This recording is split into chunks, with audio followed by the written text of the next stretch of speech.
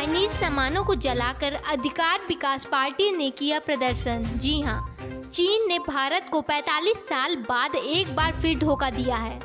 सोमवार की रात लद्दाख क्षेत्र बातचीत करने गए भारत की सेना पर चीन की सेना ने धोखे से पत्थर, डंडे और धारदार हथियारों से हमला कर दिया, जिससे भारत के कमांडिंग ऑफिसर सहित लगभग 20 सैनिक शहीद हो गए।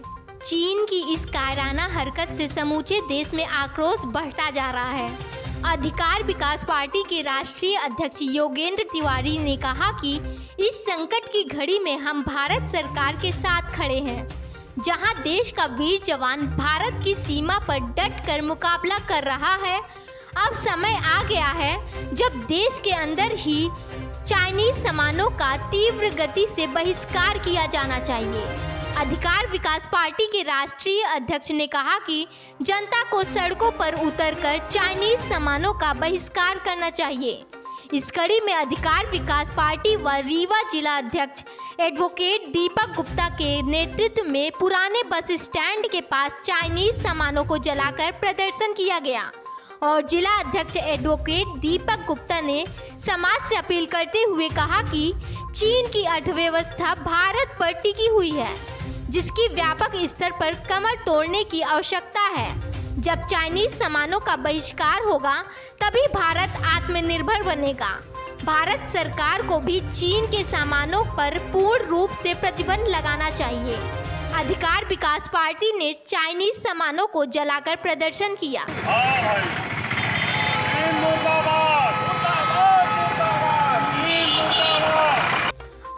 बता दें कि इस मौके पर सुधाकर पांडे, अविनाश तिवारी, विनायक पांडे, नीलू गुप्ता सहित कई लोग उपस्थित रहे। प्रयाग एक्सप्रेस न्यूज़ के लिए रीवा से क्राइम रिपोर्टर रोहित पाटिल की खास रिपोर्ट।